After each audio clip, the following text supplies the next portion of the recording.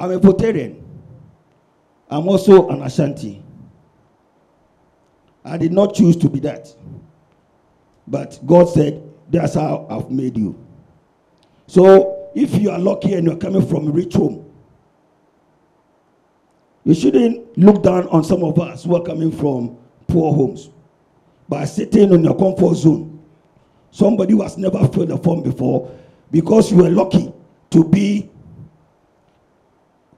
the largest political uh, opposition party as their head.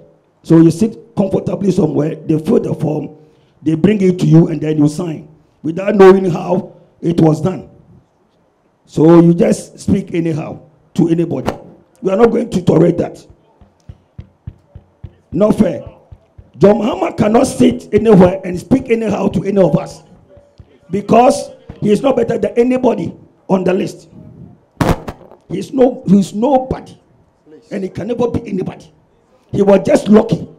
He was just lucky to be Hello. the leader please. of the. Please, LPG, I think you've made your point. Please, please.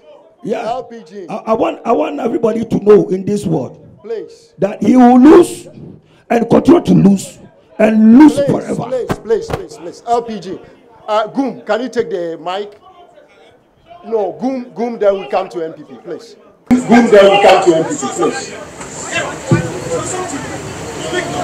Dr. Tanko, Dr. Tanko, please, please, please. Hold your cool. Can I, can I, can I quickly just, uh, No, no, Jerry, please give the mic to Goom.